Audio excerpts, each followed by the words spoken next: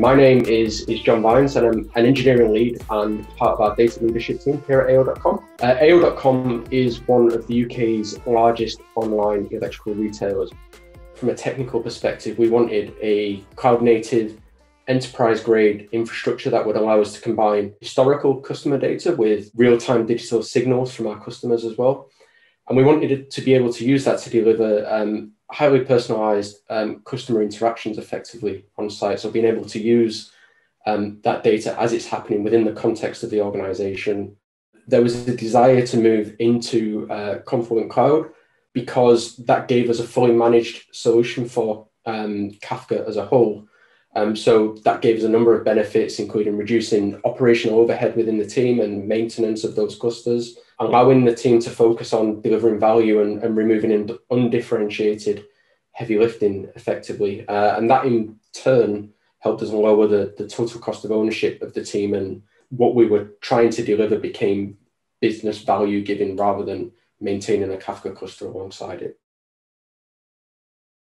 having Confluent Cloud and on AWS has allowed us to achieve um, quite a few things. Um, our biggest use case at the moment is um, giving us real time access to clickstream events as they're happening. From a business perspective, that gives us that opportunity to have kind of a real time contextualized, personalized use case, which in turn has demonstrated a conversion uplift and a, and a revenue uplift as well. The big opportunities that we've realized with, with both having Kafka as a managed service um, and the AWS um, managed services alongside that as well is that we can take advantage of, of the scalability that those cloud native approaches to building our applications gives us. So being able to respond not only to um, what a user's doing, but technically um, being able to respond to traffic levels as they go up and down or specific events as they happen throughout the year, such as, as, as Black Friday. The big benefits that we're looking at from an architectural standpoint um, means that we can start to, to kind of formally share data across the organization uh, with our events, with the contracts defining schema registry.